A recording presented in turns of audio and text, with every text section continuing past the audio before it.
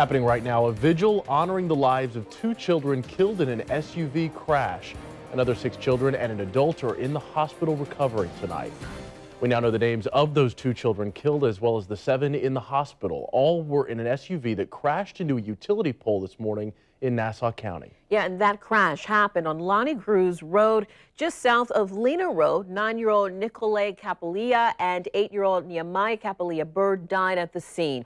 Crash reports show the driver, 33-year-old Tanya Naomi Capolia Eason, had alcohol in her system at the time of the crash. Right now, a vigil is being held in memory of those two boys killed.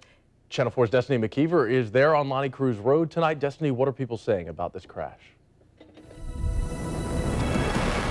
Well, as you can imagine, Ethan, a lot of people are just devastated. I spoke to a couple family members and friends earlier, and they just say they're trying to come to grips with what happened. I can show you how they're doing so. They left a couple bears here, as you can see, and also some flowers in memory of those two young boys who were killed. Here's video we shot just of crews working to restore utility poles along Lonnie Crews Road. Florida Highway Patrol says Naomi Eason, the driver, was headed north on Lonnie Crews and didn't adjust for the curve near Lena Road and flipping her Ford Expedition multiple times and hitting a utility pole. Nikolai and Nehemiah, eight and nine years old, died on scene. And the others involved ranged from ages 7 to 15 years old. They were all taken to UF Health along with Naomi Eason friends of the family say they're just shocked.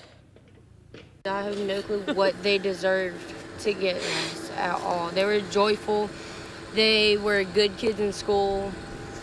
They were just awesome little kids to be around. Now, there's supposed to be a vigil held starting right now uh, for those two young boys who were killed. Of course, we'll bring you more coverage on that tonight at 10 o'clock. Reporting live, I'm Destiny McKeever, Channel 4, the local station.